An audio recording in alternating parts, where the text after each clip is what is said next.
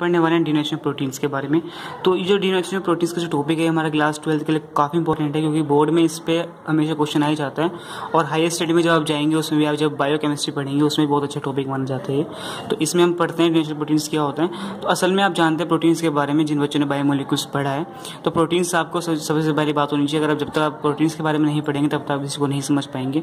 तो प्रोटीन्स के चार structure primary secondary tertiary quaternary quaternary structure सबसे कॉम्प्लेक्स होता है, उसकी इतनी स्टडी नहीं होती जितनी सेकेंडरी टर्शरी की होती है।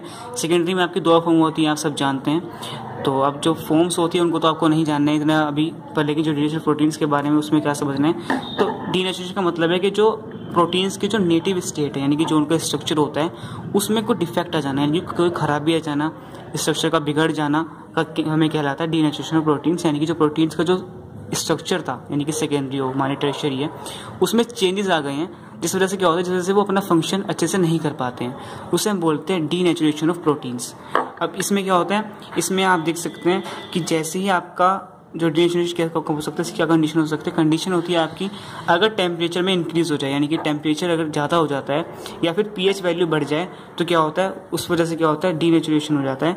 पीएच वैल्यू ज़रूरी नहीं कि बढ़ेगी, कम भी हो सकती है एसिडिक और बेसिक में जा सकती है है ना? अगर चेंज हो रहा है पीएच वैल्यू में, और अगर टेम्परेचर में चेंज हो रहा है, और टेम्परेचर ज़्यादा हाई हो जाता है तो क्या होता है? तो जो प्रोटीन्स होते हैं, उनका जो स्ट्रक्चर होता है सेकेंडरी और टर्शरी का, वो बिगड़ जाता है डिफॉर्म हो जाता है, जिस वजह से उनका जो फ़ंक्शन होता है, वो जैसे नहीं कर पाते हैं, उनका सेलुलर फ़ंक्शन बिगड़ जाता है, जिस वजह से हम बोलते हैं कि जो प्रोटीन्स हैं, वो डी नेचुरेशन हो गए यानी कि उनका जो जो उनका खुद का नेचर था, वो बदल चुका है डी नेचर हो चुके हैं। तो यही होता है डी नेचर ऑफ़ प्रोटीन इसका एग्ज़ाम्पल जो आप अगर मान लीजिए बोर्ड में जाते हो बेस्ट एग्ज़ाम्पल है हमारे पास रो एंड बोल्ड एग जब आप एग को उबालते हैं एग उबालने के बाद आप देखते हैं कि जो उसका एग वाइट होता है, वो कैसे बदल जाता है चेंज हो जाता है एकदम से।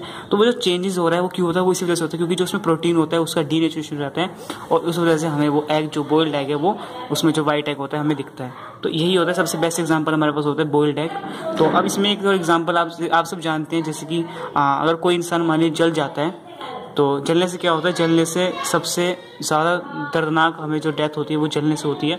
क्यों होती है? और ज़्यादा चांसेस क्या होता है? जब इंसान जल जाता है तो उसके बचने के चांसेस भी काफ़ी कम हो जाते हैं। अगर कोई इंसान मान लीजिए फिफ्टी से सिक्सटी परसेंट अगर जल चुका है तो बहुत कम चांसेस होते हैं कि वो बच जाएगा। और लगभग सात आठ दिन वो सर्वाइव करता है, उसके बाद उसकी डेथ हो जाती है। ऐसा क्यों होता है? इसका भी यही रीज़न है कि जब हम जल जाती है कोई बॉडी तो बॉडी के जलने के जब टेम्परेचर इतना हाई हो जाता है, जिस वजह से जो प्रोटीन्स होते हैं, वो डी नेचर हो जाते हैं, उनकी जो फंक्शनैलिटी है, वो खराब हो जाती है। और अगर एक बार डी नेचर हो गए तो वापस से वो नेचर में नहीं आ सकते। मतलब अपनी फंक्शनलिटी को फिर से चेंज नहीं कर सकते हैं। एक इरिवर्सिबल प्रोसेस इरिवर्सिबल प्रोसेस क्या होता है? जो कि ना बदल सके। अब जैसे आपने एग को उबाला। अब एग उबालने के बाद आप फिर से उसको रो एग में नहीं बदल सकते हैं। यानी जो पहले जैसा एग था, वैसा आप नहीं कर सकते हैं। इसे बोलते हैं इरिवर्सिबल प्रोसेस तो जब डी नेचुरल जाता है तो फिर से अपने आप को ठीक नहीं कर पाते जिस वजह से क्या होता है कि जो जिस इंसान की जलने जो जल चुका था, झुलस चुका था आग में, वो अपने आप को ज़्यादा सर्वाइव नहीं कर पाता है और छः से सात दिन में उसकी डेथ हो जाती है, ऐसा मोस्ट ऑफ़ द केसेज में होता है। तो ये भी इसका बहुत बड़ा कारण होता है कि जो प्रोटीन्स होते हैं, उनका डी नेचर हो जाता है, जिस वजह से वो अपने से बॉडी में फंक्शनलिटी नहीं कर पाते हैं और बॉडी सर्वाइव नहीं कर पाती है। सो आई होप आप समझ गए हो डी नेचर प्रोटीन्स क्या होता है। अब इसमें जो बोर्ड में होता है, आपको सिंपल आप ये थ्री पॉइंट्स लिख देंगे आपके लिए काफ़ी रहेगा। एक बार आप एन से इसको जैसे पढ़ सकते हैं, पर मैंने आपको कोशिश करी आपको बताने की काफ़ी बच्चे को जीनेशल प्रोटीन क्या होता है। सो आई होप आपको इसके बारे में समझ आए कोई भी आपको डाउट रहेगा तो आप कमेंट कर सकते हैं।